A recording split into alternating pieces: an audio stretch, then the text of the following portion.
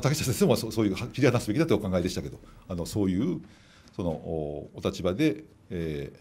まあ、自分はそう思ってるかもしれないけれども、そうでないと思う人もたくさんいるので、そこをきちんと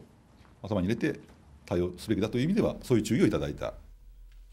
昨日、東京で国や県選出国会議員への要望を終えた記者会見でこのように述べた丸山知事。新型コロナ対策と聖火リレーを切り離して考える立場を示した竹下議員とは考え方が違うとしつつも島根県の球場について理解が得られたと話しました。あの知事との考えが違う。ただただ自分は違う考えだということで、えー、その共通点は見なかったですけど、この問題についてきちんと対応しなきゃいけないということについては、竹下先生はあのご理解いただきました島根県知事が聖火リレーを中止するとかということを言い始めまして、困惑しております。知事呼んで注意をしっかりしなきゃいかんなと。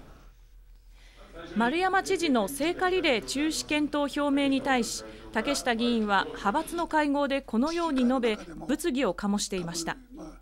昨日竹下議員と面会した丸山知事は国の新型コロナ対策強化や県内の飲食店への支援を求めました。今日は九十分に書いておりましたあの私のやりように問題があるというご指摘はそれはあってしかるべきだと思います。ただあのそれはあっても、この問題をきちんと対応しなきゃいけないという意味で対応していただけるということで、私は大変ありがたいと思っています。